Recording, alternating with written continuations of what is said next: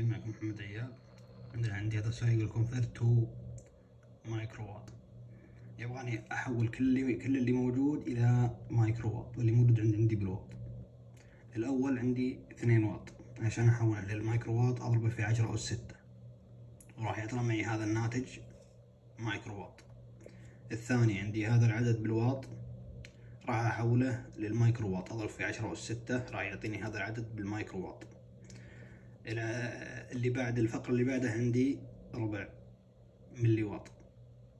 عشان احوله للواط في طريقة أحسن تسهل عليك آه، الحل. إنك تحوله للوحدة الأساسية اللي هي الواط بعدين تحوله للمايكرو واط. يعني تضربه في عشرة اس ثلاثة عشان تحوله للواط آه، عشرة اس ثلاثة عشان تحوله للواط. بعدين تضربه في عشرة اس اس ستة عشان تحوله للمايكرو واط. يصير كذا طريقة سهلة جدا. آه، اللي بعد عندنا بالملي واط كذلك. نفس ال هذا.